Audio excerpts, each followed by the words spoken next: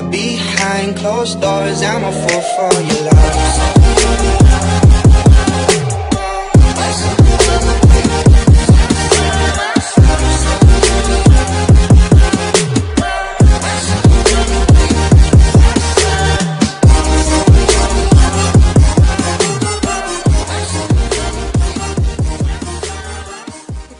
Hello. Hello. How are you? I'm alright. How are you?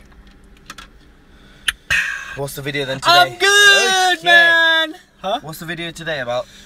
Today, It's a short one, surprisingly. like a two minute, two and a half minute one. Two and a half minutes. Some uh, sugar. including the intro. Two and a half. So, basically, how to get width in your back. So, when I started lifting weights many moons ago, Here we go. when I was two years old, Deep talks with Toby. when I was two years old and started lifting weight, I realised all I trained was arms.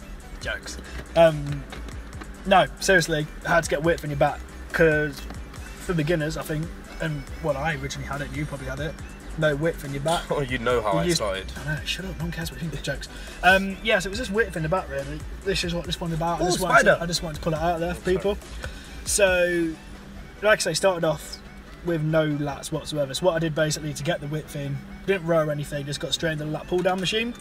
Um, in the gym, this is for someone who may not have it in the gym, may have it in the gym, I don't know, who may struggle with equipment. You've got three exercises for you on one thing. So starting off with wide grip pull downs, which is the first exercise you saw there.